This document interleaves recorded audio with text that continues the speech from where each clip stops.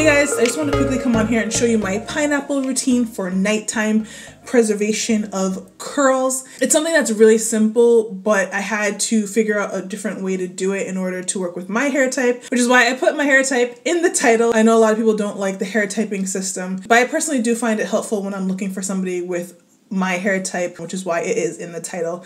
If you guys want to know, my hair is 4A with 4B um, in the crown, although that's kind of changed a little bit. It's kind of mostly all 4A now. But yeah, that's my hair type. This is obviously not my natural hair texture because it's been stretched.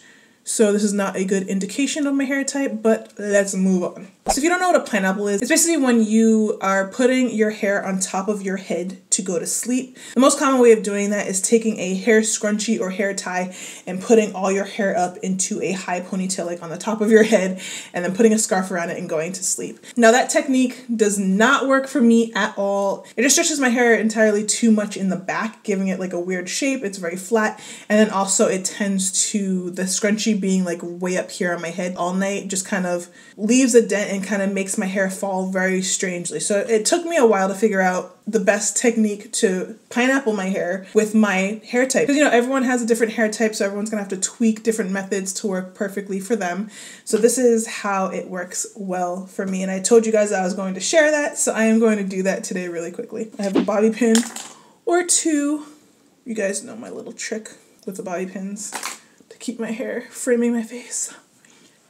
So I gotta take those out. I don't do this with twist outs. With twist outs, I just put it in like a low bun and wrap it. So this is mainly to preserve wash and gos. So all you'll need is a large scarf to do this. It's a large silk scarf in the shape of a square. The larger the better. Just kind of keep that as a rule of thumb. And all you're going to do for this is tilt your head over so that the hair is going forward like a normal pineapple.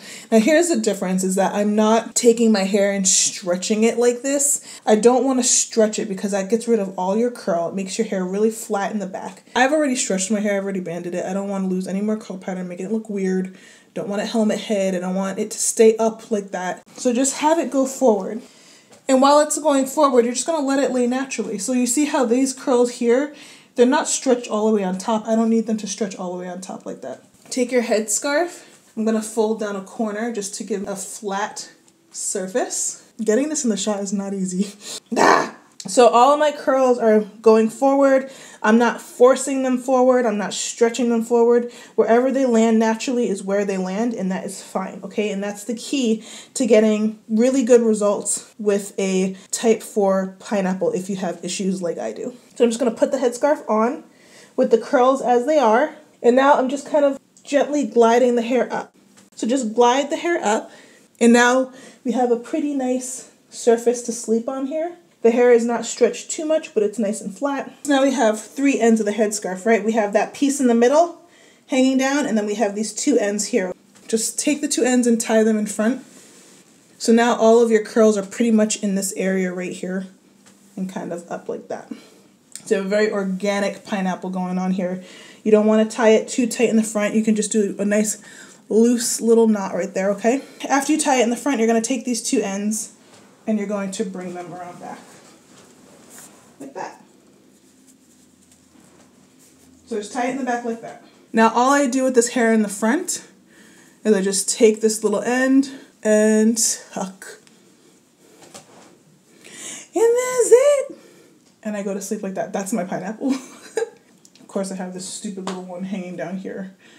Whatever. So the reason that this works is because I don't have anything tight here that's like clamping my curls, stretching it up here, and ruining my curl pattern. And also, it's not having it sit on the very top of my head all night, which would just make my hair stand up completely straight. So, if you guys recall, when I shape my hair, I put my hair on top of my head, but I only leave it like that for like an hour or so because that's all it takes to kind of set my hair. And I don't want to ruin my hair.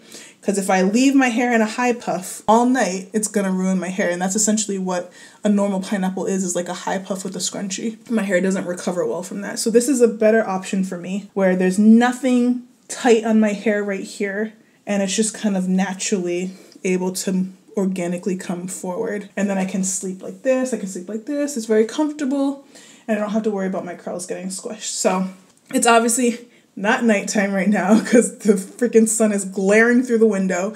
So this is what I'm going to do tonight. I just want to show you in the natural light. I'm going to do this tonight and then I will come back to take my hair down to show you guys what it looks like and then also um, like how I reshape it or whatever. I will see you tomorrow. Bye. Hey guys, it's the next morning. I'm going to take down my pineapple that I slept with last night.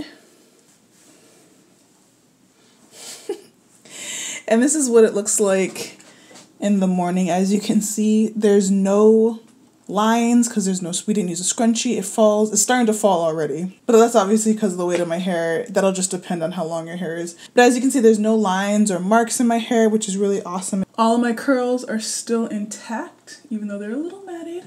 And then if you look at the back, if I like kind of peel this down like an onion, you can see that the hair is not like super stretched. It's not straight. The curl is still there. Yay! Okay, so all you need to do at this point is just shake it out. Shake, shake, shake. And you can put some oil on your hands if you want. I didn't, and I'm too lazy to go grab it, so it's fine. And now we're just gonna shape it. Look at that! Yeah, yeah, yeah.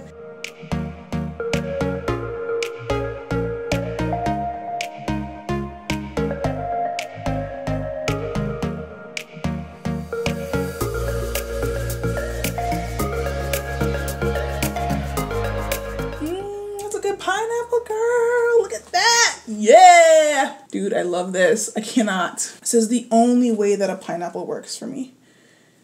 And I did it one night because I was super lazy and I didn't think it was going to do anything and it did. And I was shocked. And I actually think it gets better throughout the week as it gets more matted because I like this volume to come up and this to come out. And I don't mind that I lose a little bit of length. Who needs length? We want attitude, yeah. I don't know how the back looks, so I didn't look at it, but that's the back.